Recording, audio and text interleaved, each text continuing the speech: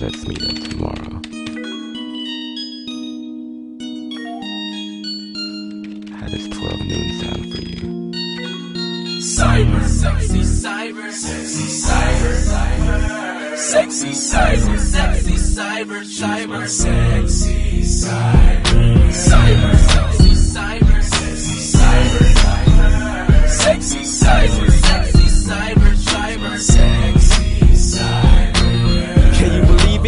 finally about to meet a soulmate. It's still tripping out. She's like, no way. No more sad, lonely nights of straight horror. Tomorrow she's meeting the lover God made for her. She's looking in the mirror, dancing around the house with a mess of clothes on the bed, trying on outfits. She's acting out how the day is probably gonna be like, hi Pete, I'm so glad we finally get to meet. She thinks to herself, hmm, I know what I should do. I'ma call Nicole up and tell her all the good news. It went to voicemail cause Nicole was sleeping. So Lauren left the message like, girl, I'm gonna see him. She hangs up and falls back on the bed smiling, looking at the ceiling, daydreaming in dead silence. Eventually your daydreaming turns into sleep. It's love that she's feeling, and yes, the feeling is sweet. Cyber, sexy cyber,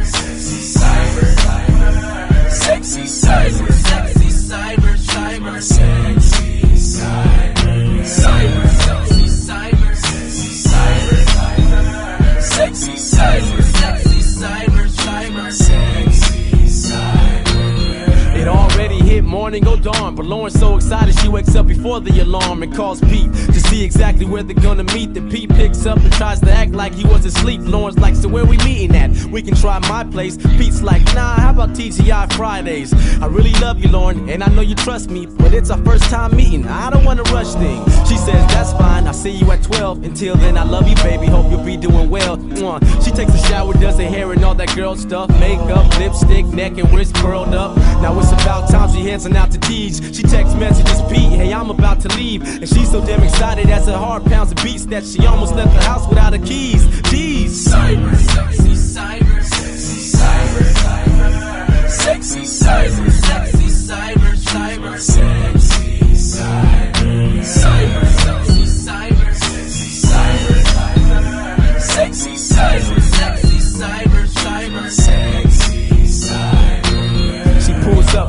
hasn't arrived yet. Should she go in without him? She hasn't decided. She doesn't really know how he would act if she tried it. So she just sits back and just relaxes her eyelids. It's 12:20. Lauren picks up an appetite. She decides to go inside without him and have a bite. Then the phone rings. It's Pete, so she answers it. Pete says, "Baby, I'm gonna have to cancel it." Lauren says, "Why? What happened? What is it?" Then Pete says, "I just heard my grandmother's and I have to go and give her a visit." Then Lauren says, "It's okay, baby. Go handle your business." She loves him too much, so it didn't really bother. her. She hops in the car, pulls off. Somebody follows her, but she don't even notice cause the music's too loud. And she just caught up in the zone of a Ludacris album. Now she's home. She opens the door, moves to get out. Soon as the foot hits the ground, a man rushes up and pushes her down. She drops the keys. The man picks him up and drags her by her feet into her house like he don't give a fuck. He slapped her, then put tape on her mouth to take from the sound. And Flora screaming rape really loud. He's going ballistic. Her face is covered with lipstick. Then he yells out, "Bitch, Pete never existed."